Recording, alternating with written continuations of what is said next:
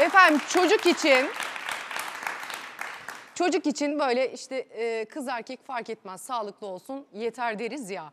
Ama bir yolu da varsa e, niye denemeyelim değil mi hocam? Şöyle işte gönlümüzden bir oğlumuz varsa bir de kızımız olsun diye geçebilir. Efendim bunun da e, yolu var. Birazdan ilk defa Profesör Doktor İbrahim Saraçoğlu bizlere bunun bir formülünü, bir yolunu gösterecek. Sadece bu kadar mı? Elbette değil. E, kabızlık, ishal problemlerine neler iyi gelebilir? Cilt problemleri yaşıyorsanız buna neler yapabilirsiniz? Hepsi ve daha fazlasını Profesör Doktor İbrahim Saraçoğlu ile konuşacağız. Hocam hoş geldiniz, sefalar Merhaba getirdiniz. efendim. Ama geçtiğimiz hafta böyle bize bir cuma mesajı verdiniz ama benim için çok kıymetliydi. Ben kendi adıma çok şey çıkarttım. Bu hafta da istifade etmek isterim değerli düşüncelerinizden. Buyurunuz efendim. Evet, şimdi merhaba dedim mesela. Ben tüm değerli izleyicilerimize ve misafirlerimize hoş geldiniz diyorum. Allah'tan akıl ve beden sağlıkları daim olsun inşallah. Şimdi e, bu merhaba diyoruz. Anlamını bilen var mı? Merhaba ne anlama gelir? Bu yüce kitapta geçer. Merhaba. Saat suresi 38. surenin 59 ve 60. ayetlerinde iki defa merhaba. Yani merhaba bir yere girdiğinizde insanları selamladığınızda merhaba dediğinizde bu bir duadır hattı zatında. Yani Allah burayı ferahlatsın, genişletsin, huzur getirsin, sevgi nasip etsin anlamındadır. Nasıl derin bir anlamı var değil mi? Tabii merhabanın anlamı bu.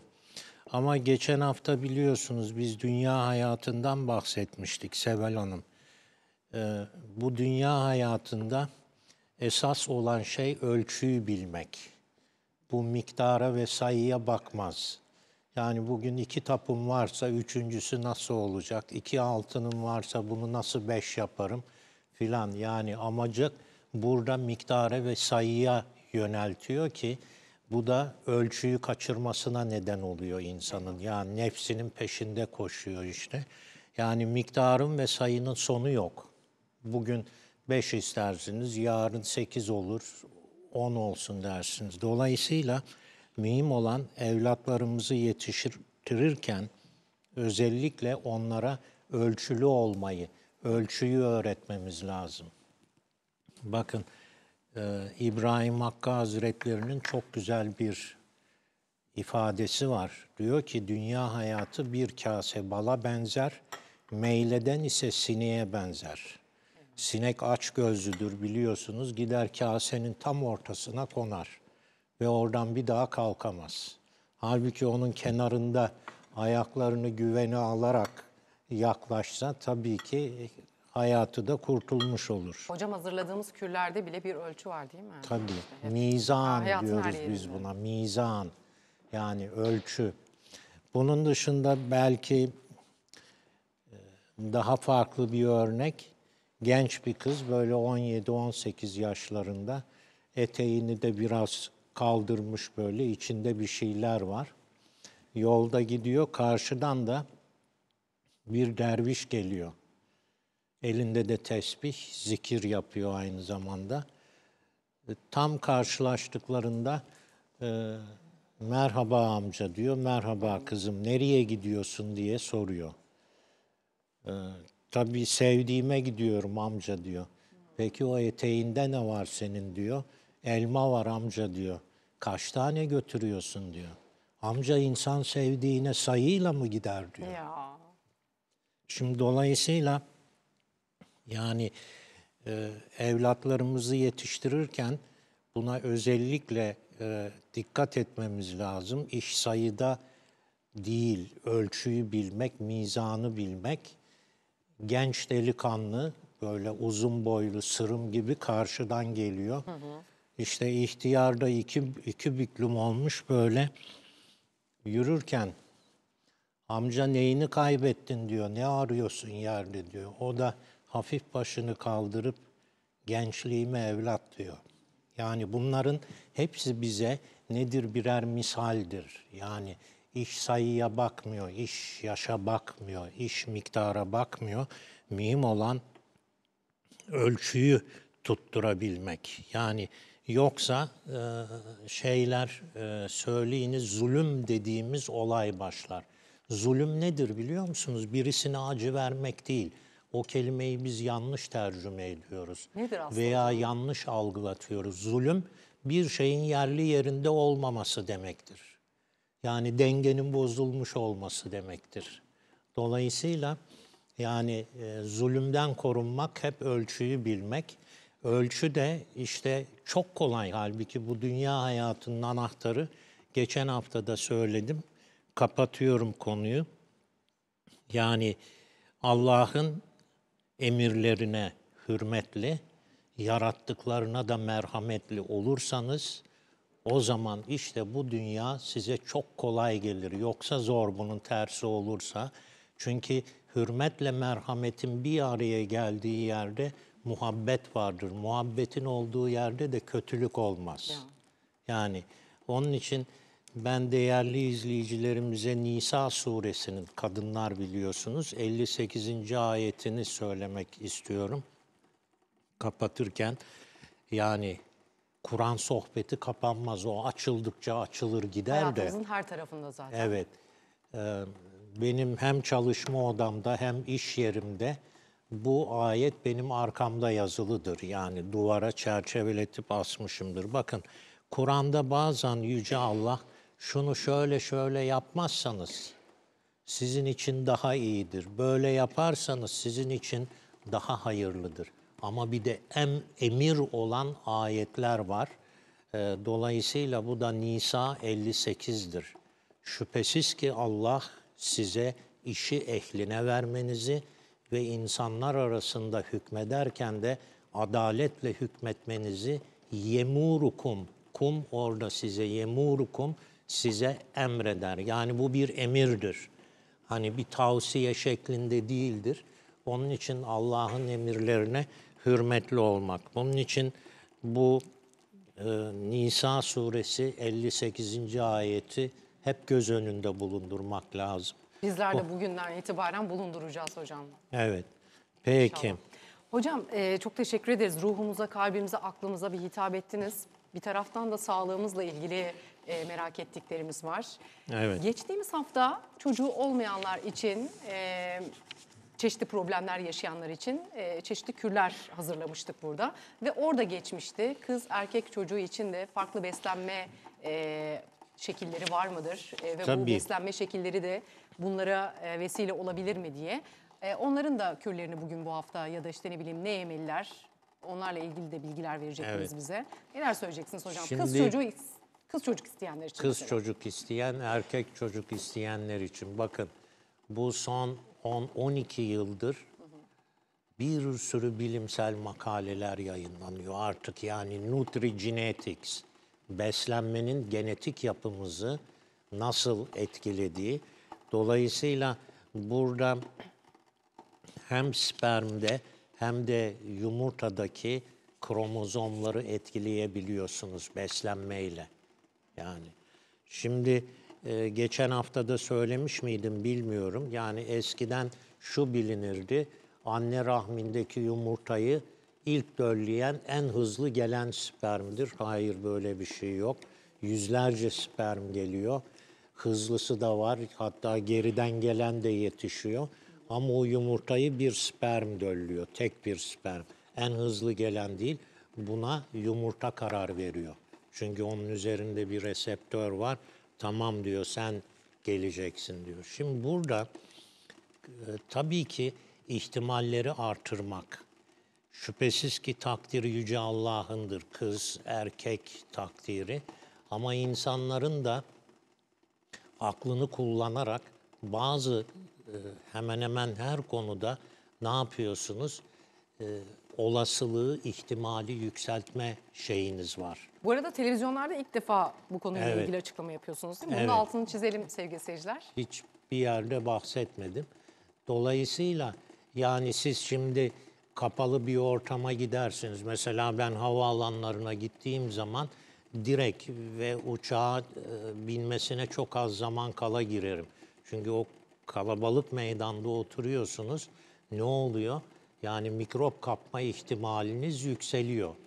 Yani bunların hepsi birer tedbirdir. Şimdi bakın burada eğer erkek çocuk istiyorsanız hem kadın hem erkek arı polenini tercih edecek. Erkek çocuk istiyorlarsa hem kadın hem erkek e, arı pol- polenini tercih edecek yiyecek. tercih edecekler. Şimdi bizim insanımız bazen bir şey söylersiniz bunu onla çarpar. Diyorum ki şu brokoli iyi huylu prostat büyümesinde e, çok faydalıdır. Bunu 5-6 dakika kaynatacaksınız. Adam yarım saat kaynatıyor. Ölçü Niye? Değil mi orada da? E tabii her şey. Hocam daha kuvvetli olur. Mübarek bütün e, sekonder metabolitlere dahi zarar verdin onun içindeki. Dolayısıyla her şeyde bir ölçü var. Mizan dediğimiz şey.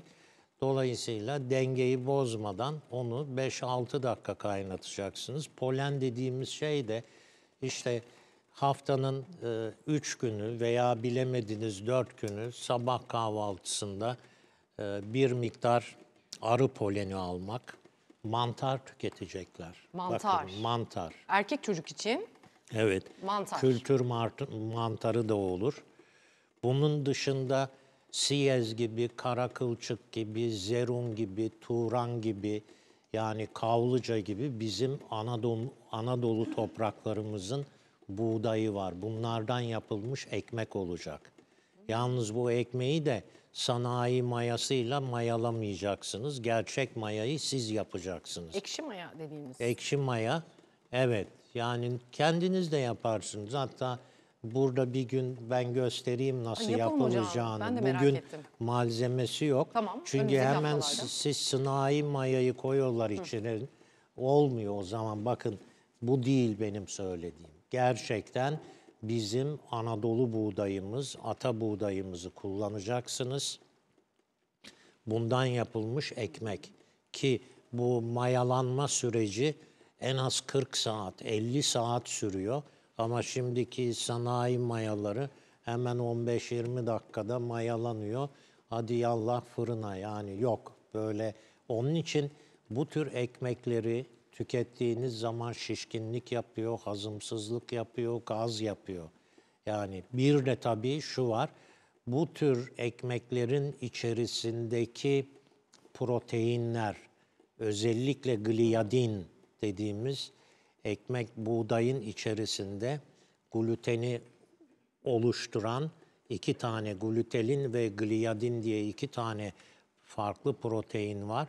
Bunlar ne oluyor? Özellikle gliadin e, tam doğru parçalanamıyor. Çünkü o bizim ata buğdayımız değil, modern buğday.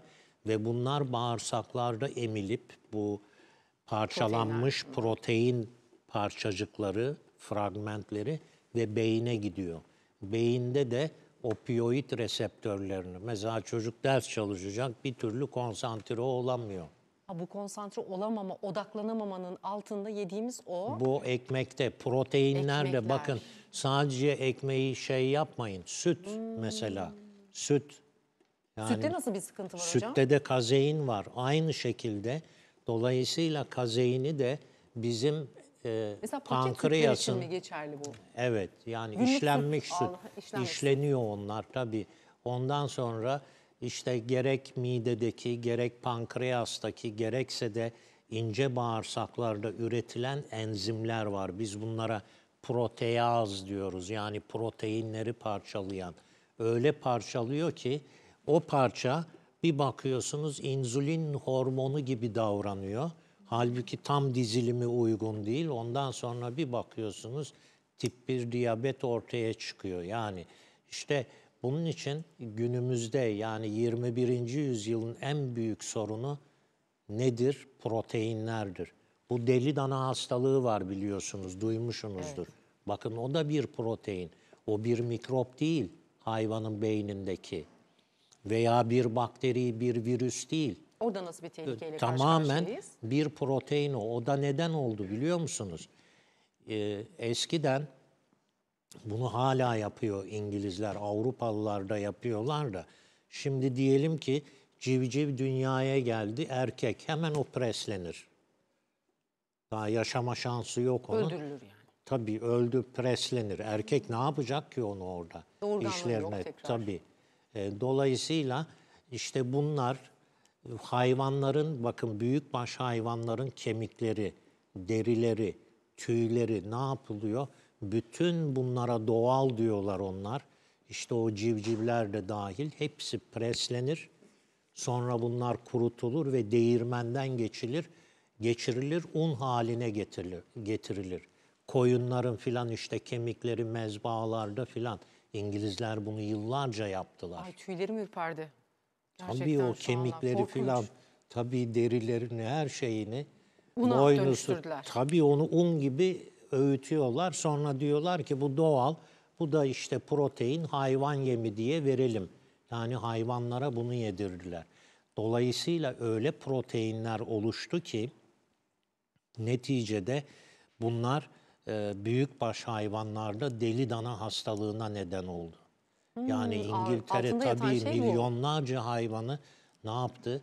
E, itlaf etmek zorunda kaldı. Yani dünya kapılarını kapattı İngiltere'nin büyükbaş biliyorsunuz Avrupa'nın en büyükbaştaki en büyük ihracatçısı İskoçya'dır.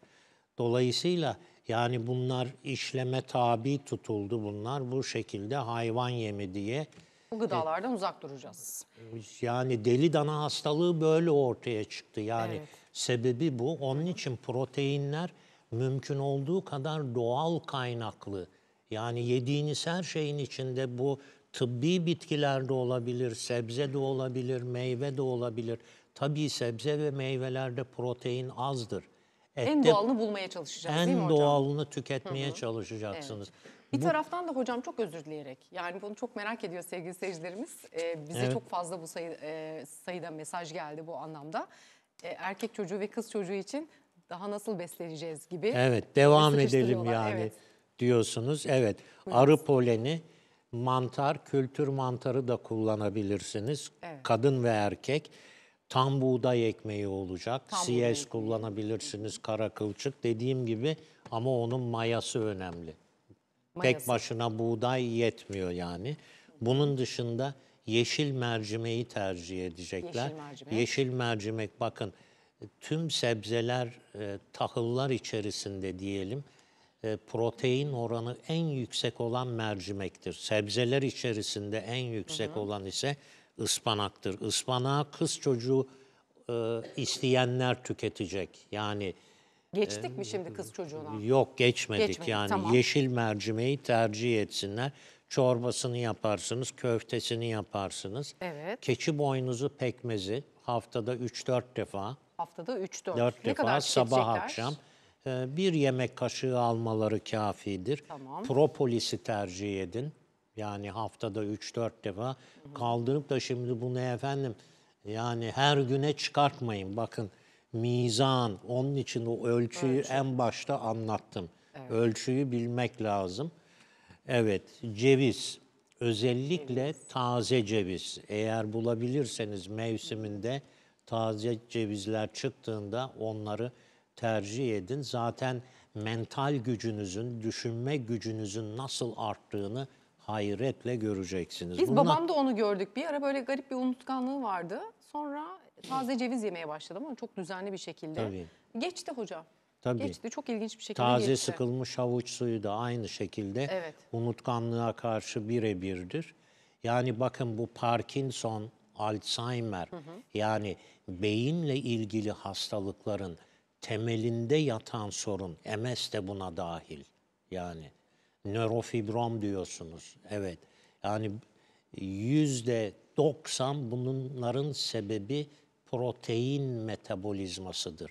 Çok önemli bir yere dikkat çekiyorsunuz Evet. proteinlerle ilgili. Tabii yani doğal Hemen hemen. olmayan bir şeyin içerisinde insan elinin müdahale edip girdiği, onu değiştirmişse proteinler ne hale geldi bilmiyorsunuz. Yani ve neticede analizlendiği zaman bu çıkıyor tabii. Birçok hastalığın temelini de Evet. bu e, Tabii, farklılaşmış proteinler oluşturuyor diyorsunuz. Evet, Alzheimer işte beyinde protein birikmesidir. Hani beyin küçülüyor diyorlar Alzheimer hastalarında. Tamam bir miktar küçülüyor. 40 yaşından sonra bütün insanların beyni bir miktar küçülmeye başlar. Yani bu çok doğal. Doğal yaşamın bir şeyidir bu.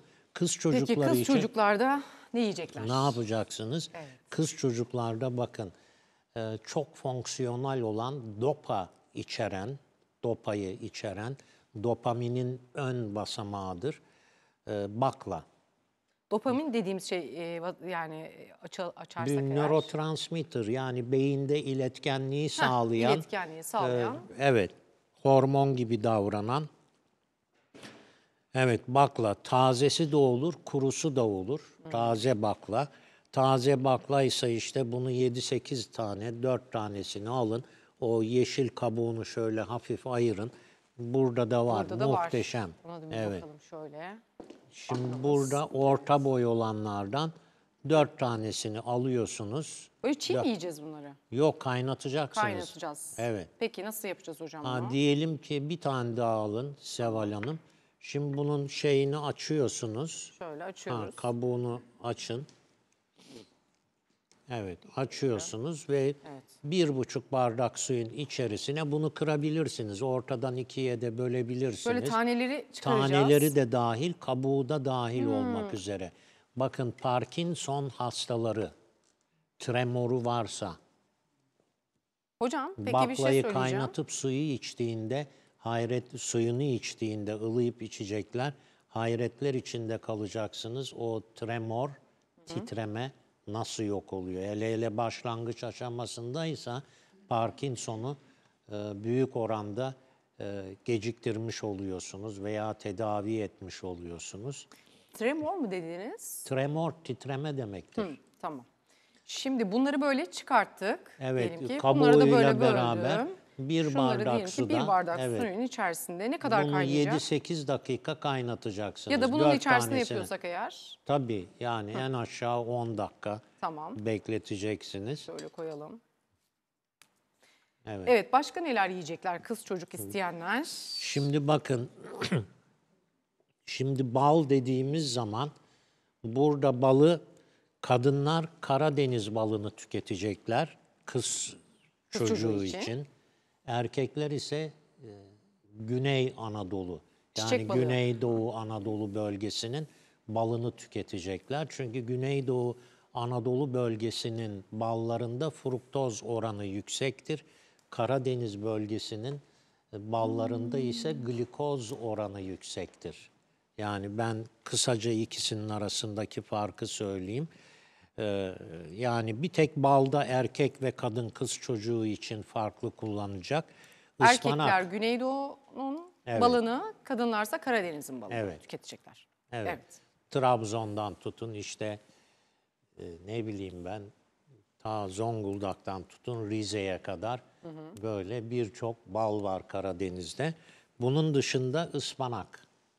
Ispanak da. Kadın evet, ve erkek. ıspanağın böreği bu kız çocuğu için kadın ve erkek aynı tüketecekler bunu kız çocuğu için. Ee, bu yemeği de olur. İşte böreğini yapar yer. Yani haftada Ne kadar? 2-3 defa tercih etsinler. Şimdi bakın çocuk yapmaya karar verdiyseniz bu işe en erken 5-6 ay önceden başlamanız lazım. Aa biz bugün karar verdik hadi şöyle be olmaz. Ne zaman Bu başlayacaklar? 5-6 ay önceden buna başlayacaklar. Hı, Karar verdiler. Bir Evet. oğlumuz var, bir kızımız daha olsun istiyorsunuz. Tamam Beş, altı 5-6 ay ay önce. sonra çocuk için e, niyetlendiler. 5. 6. aydan sonra tamam ama siz öncesi bu işte beslenme. Çünkü ne yapıyorsunuz? E, burada genetik yapınız o on, o anlamda yumurta ya ve spermin e, aktiviteleri, kromozomal aktiviteleri zona pellucida dediğimiz yumurtadaki bölgede aktifler değişiyor. Yani yani e, mol şeyler değişmiyor tabii. Yapıda bir değişiklik olmuyor ama içerdiği enzimlerin aktivasyonları değişiyor. Bir şekilde o besinler Tabii. orayı hazırlıyor. Tabii zona pellucida Evet. denir buna. Evet. Ee, bir de Başka e, şeyde e, fındık, badem, fındık ya da badem. Hem fındık hem badem değil. Erkek çocukta şeydi, cevizdi. Evet. Kız çocukta kız fındık çocuk ya da badem. Badem. Hani bu hafta badem tüketirsiniz de önümüzdeki hafta e, ne bileyim e, fındığı tüketirsiniz. Son olarak da tabii ki taze sıkılmış havuç suyu. Bakın şunu söylemek istiyorum Seval Hanım. Bu havuç var ya bunu da kaptırdık. Turan buğdayını nasıl kaptırdıysak Belçikalılara. Havucu Turan nereye buğdayı kaptırdık hocam? Güneydoğu Anadolu bölgesinin buğdayıdır. Turan buğdayı Göbekli Tepe ve çevresinden çıkmıştır. E gitti kaptırdık adamlar tescil etti dünyaya satıyorlar işte buğdayı. Havuçta peki? Havuçta bakın havucun ana vatanı Anadolu'dur. İç Anadolu. Hatta tam yerini söyleyeyim size Afyon. Afyon. Evet. Yani Afyon'daki havuçlar mordur. Koyu koyu lacivert böyle mor renklidir. Zaten havucun aslı da mor. Tabii orijinali mor. Şimdi Biz hep 1700'lü yıl turuncu diye biliyoruz. Hayır efendim ne alakası var? Yanlış. Yanlış biliniyor tabii. Yani 1720'li yıllarda o o dönemlerde şey var Hollanda'da. Bu Hollandalılar tohumlarla çok oynarlar ya. Her türlü GDO'lu hibrit çiçek. Bak çiçekler bile kokmuyor zaten. Şimdi gidiyorsunuz çiçekçiye. Yok kokusu yok. Şimdi bakın bu havuç Seval Hanım Bu havuç değil yani. Gerçek havuç değil yani ya hocam. bu- bunun aslı Çok böyle değil ki. şaşkınlık yaşıyorum da bugün. Bunun aslı bu değil ki. Bunun aslı mor havuçtur. Bakın 1700'lü yılların başlarında Hollanda'nın prensi, orada bir prens var. Fransızların şeyinden kurtarıyor Hollanda'yı. Yani bağımsızlığını Fransızları kovuyorlar Hollanda'dan. Ee, William Van Orange. Adamın soyadı Orange. Orange turuncu, renk Turuncu, demek evet. biliyorsunuz. Ha. Çok sevdiği için Hollandalılar o dönemin biyologları ne yapıyorlar? Bu mor havucu turuncuya çeviriyorlar. Prenslerini çok sevdikleri için. Tamam da biz niye değiştiriyoruz yani? Onlar E prensleri işte biz de onlardan aldık sonra gerisin geriye geliyor ya. ya. Yurt dışından bakın zaten 1730'lu 40'lı yıllarda bakın Hollanda bayrağı turuncu, beyaz ve mavidir.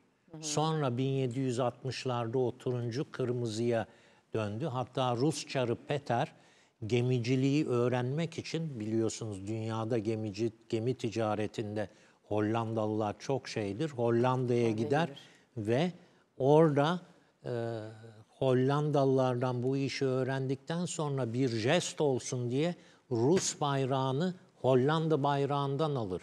Aynı renklerdir. Bakın e, şeye bakın Rus bayrağı ile Hollanda, Hollanda bayrağını. Yalnız Rus bayrağı e, beyazla başlar.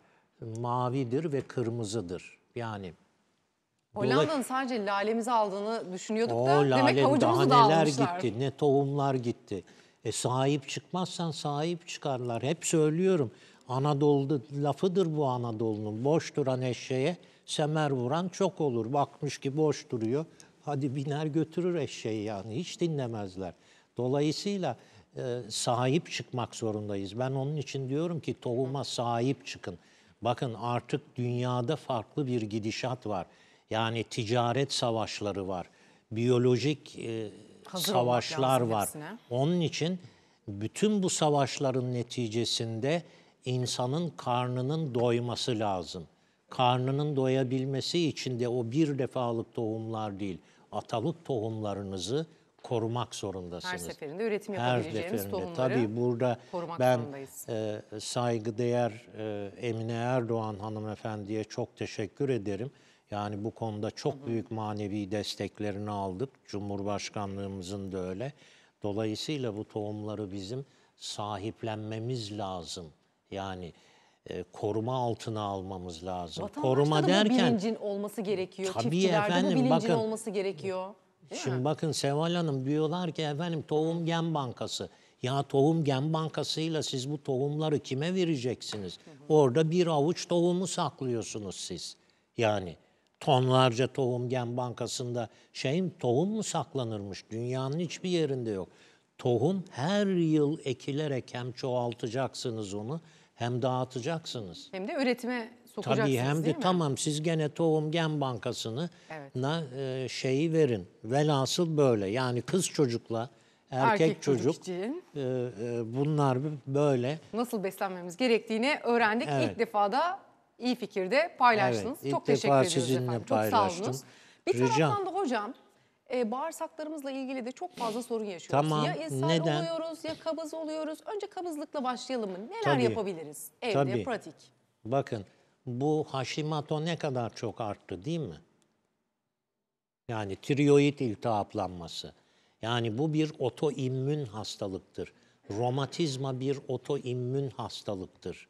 Yani e, diyabet bir otoimmün hastalıktır. Yani biraz açacak olursak vücudun, vücudun bağışıklık sisteminin kendi organlarına saldırmasıdır. Yani e, dolayısıyla gidiyor pankreasta e, işte beta hücreleri var. Bu insülin üretiyor. Han dedim ya sütteki kazeinin işte e, parçalanırken insülin gibi davranıyor. Mimik denir ona taklit yapıyor. Aa diyor sen yanlışsın diyor ve doğru gidiyor karaciğerdeki beta hücrelerini yok ediyor. İşte tip 1 diyabet. Bununla ilgili yayınlanmış yüzlerce makale var. Bakın şimdi sanayi ve lobiler o kadar güçlü ki e, saygın üniversitelerin bu bilimsel çalışmalarını maalesef halka indiremiyorsunuz. Hep bir şekilde bir şekilde bunların önü kesiliyor. Ama şükürler olsun ki böyle programlarla e, Evet. ve gerçekten doğru bilgiye sahip hocalarla da bu bilgileri yine bizler böyle paylaşmaya çalışıyoruz. Tabii. Sizlerin sayesinde. Çok Yani hocam, sorumluluğunuz olun. olacak. Sorumluluğunuz olacak. Anadolu terk edildi gitti. Bak Allah bunun hesabını soracak. Yani ve soruyor da. Yani bunun için açık ayeti var. 21. surenin 13. ayeti. La terkudu diye başlıyor. Terk etmeyin, kaçıp gitmeyin. Size nimet verdiğimiz yurtlarınıza dönün diyor. O nimetlerden sizi hesaba çekeceğim diyor. Terk edilmiş Anadolu. Ne yapıyorsun büyük şehirde ne var? Bak şimdi de Anadolu'ya göç etmeye çalışıyorlar. Fakat gençlerimize biz bunun temel eğitimini vermediğimiz için Seval Hanım ben bu köyde ne yaparım diyor. Buğday ekmesini bilmez. Aşı yapmasını bilmez. Ağaç dikmesini bilmez. Bugün mesela bir karpuz türü vardır ki bunu ekeceğiniz zaman bir yemek kaşığı kum alırsınız. Kumun içine o çekirdeği koyarsınız. Sonra onu toprakla örtersiniz. Bakın bunların hepsi birer e, e, birer detaydır. Hocam benim dikkatimi çeken e, geçtiğimiz günlerde bir ıspanak zehirlenmesi yaşadık. Orada yani şu insanın aklına geliyor. Hakikaten artık vatandaşlar e, otu seçemiyor ya ıspanağı seçemiyor. Böyle rokayla Evet. falan karıştıranlar olabiliyor. E, Ispanağı tabii. artık tanımayan bir nesil var ortada. Maalesef. Söylediğiniz o kadar e, Ee, Maalesef doğru onun ki. için eğitim. Bakın bizim zamanımızda ilkokula giden çocuklara çok fazla e, bilgi verilirdi. Bakın ben 10 yaşındaydım. Ee, biz aslen Safranboluluyuz. Anamın köyü de Konarı köyüdür. Dedem orada. Gel o uşağım dedi sen bu mektebe gidiyorsun ama e, yarın bir gün bakarsın iş bulamazsın. Ben sana bir meslek öğreteyim Ya. dedi. Bu e, taş değirmenler var ya. Bakın o taş değirmeni yapmak öyle kolay değildir. Onun beş tane keseri vardır. Yani e, bu nasıl yapılır? Onun içine yivleri açıyorsunuz. Yoksa oradan doğru dürüst şey çıkmaz. İçeride birikir sonra taş hoplamaya başlar. Darmadağın olur ortalık. Bir sistemi Bunu var. öğretti. Tabii yani ben 10 yaşında filandım. Demir e, değirmen taşı nasıl çekiçle iz yapacaksınız onu. Önce bir izotropik yapıyorsunuz. Sonra bir kısmı dairesel, bir kısmı dışarıya doğru akacak. Bakın bun, bunlar birer bunu bize öğretiyordu. Yani tarım iş dersimiz vardı bizim okulda. Yani öğrenirdik. Şimdi çocuklarda bir şey yok. Yani Bundan toprağı bilmiyor. Da, bundan sonra da yani bu konularla ilgili de çalışmaların yapılması gerekiyor diyelim. Ee, geçelim Evet. mi hocam? Ne yapacağız? Kabızlık için ne yapacağız? Tabii. Şimdi EBS, bakın Irritable Bowel Sendrom, hareketli bağırsak sendromu. İşte otoimmün hastalıklardan Bu bahsettim. yani. huzursuz bağırsak sendromu Evet, huzursuz bağırsak sendromu. Neden? Çünkü tükettiğiniz gıdaların içerisindeki proteinler doğal olmadığı için gaz yapıyor, şişkinlik yapıyor. Bu sefer de e, hocam diyor ne bir de bayanlarda bu çok görülüyor biliyor musunuz? Çünkü bayanları kumanda eden hormonlardır. Erkekleri de yöneten hormonlardır ama kadınlar daha fazla yönetiliyor hormonlar üzerinden diyelim metabolizmaları. Ee, bu sefer hocam ne yersem davul gibi şişiyorum diyor. Evet, o problem E, Tamam var. bir Ne de gaz yapacağız? çıkartmaları gerekiyor. Rahatsız oluyorlar. Çıkartan var, çıkartamayan var. İşte burada yapılacak olan şey bakın sabahları kalktığınızda tam bir limonu alın. Evet. Yarım bardak suyun içine sıkın ve bunu aç karna için. 10-15 dakika sonra göreceksiniz.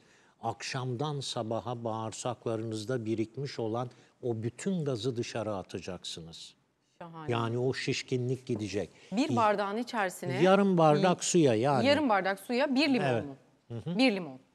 Tamam. Peki mide için bir sıkıntı doğurur mu hocam? Ya sonrasında? salata, ha şunu söyleyeyim. Efendim e, işte e, ben limon suyunu salatada rahatlıkla tüketiyorsa problem yok. Yok, Ha, Baktınız ki vatandaş kendisi bilir. Yani limon suyu bana göre değil der. Tamam onu kullanma. Yani e, o zaman e, yapacağı başka şey tabii. E, limon melisa çayı. Limon melisa çayı geçen hafta vardı. Bu hafta Limonlu limonlu kokaro. Tamam e, ondan 5-6 gram alın bir bardak suda onu kaynatıp 5-6 dakika bunun su bu da gazınızı alır ve hem de rahatlatır. Yani şimdi bunun dışında e, hareketli bağırsak sendromunda dikkat etmeniz gereken şey var. Eğer sofranızda tatlı var ise Seval Hanım yemeğin üstüne tatlı ve meyve tüketilmez. Bak özellikle hareketli bağırsak sendromu olanlar için bunu söylüyorum. En erken 2-3 saat sonra tatlı ve meyve tüketilir. Şimdi bak- Yemeğin hemen ardına tatlı ya da Kesinlikle. meyve tüketmiyoruz. Bu bütün insanlar için geçerli. Evet, iki üç ha, saat sonra. Efendim şey canınız çok seviyor. Ne yapacaksınız? Tamam önce tatlı yiyin. önce yemekten önce meyvenizi tatlı yiyin. ya da meyve. Hem tatlı hem meyve olmaz. Birinden birini tercih edin mübarek. Yani aynı anda ikisi olmaz. Ha tatlıysa tamam tatlı yiyin ondan sonra üzerine yemeği. Anadolu'da Ama yaygın yem- bir şey var ya yemeğin hemen ardından mutlaka tatlı bir şeyler yeme. Şimdi efendim tabii ki bakın şimdi siz Anadolu'ya kurban olsunlar. Evet. O Anadolu mutfağı, o Anadolu kültürü, o yediklerinizden bir şey olmaz. Hepsi doğal. Korkmayın. Şimdi elma yiyorsunuz şişkinlik yapıyor. Normalde elma sindirimi kolaylaştırır, gaz gidericidir ama şimdi bu yakışıklı elmalar bunların hepsi kültür meyveleri yani. Yok. Ben ben yemiyorum. Peki bağırsak için neler yapacağız başka hocam? Evet şimdi burada Kabızlık ve ishal. Önce kabızla bakın keten tohumu yağı. Keten tohumu bakın yağı. hareketli bağırsak sendromu olanlar için keten tohumu yağı Propolis. veya kayısı pekmezi yapın. Müthiş bir şeydir. Herkes ne bileyim keçi boynuzu pekmezi der, işte dut pekmezi der, üzüm pekmezi der. Kayısıdan da yapabilirsiniz. O ne bakayım o polen. Değil mi? Evet. Evet. Arı poleni. Arının poleni. Şurada Bir şey de var. çiçeğin poleni var. Bak o farklı bir şey yani. Arı da bunu çiçeklerdeki polenlerden alıyor ama onu biraz değiştiriyor. Evet. Şimdi burada ebe gümeci, özellikle ebe gümeci, hareketli bağırsak sendromunuz varsa müthiş. Yani bundan işte e, bir tatlı kaşığı kadar ebe gümecini alın. Tamam bir tutam alabilirsiniz 5-6 gram. Bunu bir bardak suda kaynatıyorsunuz Seval Hanım ve içiyorsunuz. Evet. Bağırsaklarınızın nasıl rahatladığını hayretle göreceksiniz. Keten tohumunu da kullanabilirsiniz. Keten bakın o kadar faydalı bir bitki ki Osmanlı döneminde Profesör Doktor e, Halil İnalcık hocanın Osmanlı tarihini okuduğunuzda Karadeniz bölgesine hep keten ekiliyor. Urgancılar, kendirciler var. Pazar yerlerinde sırtına, omzuna urganı alıp satıyor yani.